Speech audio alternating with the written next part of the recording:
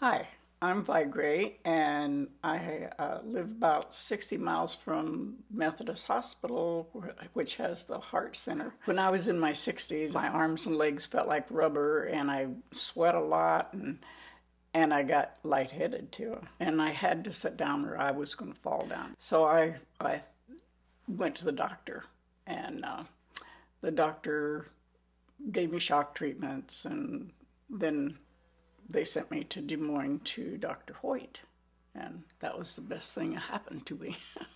uh, Dr. Hoyt is one of the first doctors to use the HIS bundle in pacing.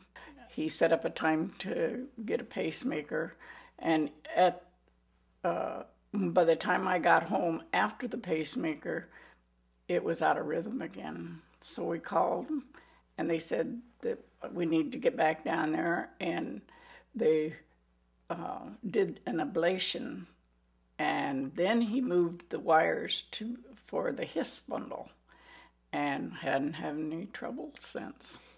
I, i'm 74 years old and i'm still working and um, i wouldn't have been able to do that if i hadn't had the pacemaker the way he did it. I, because it stayed in rhythm then.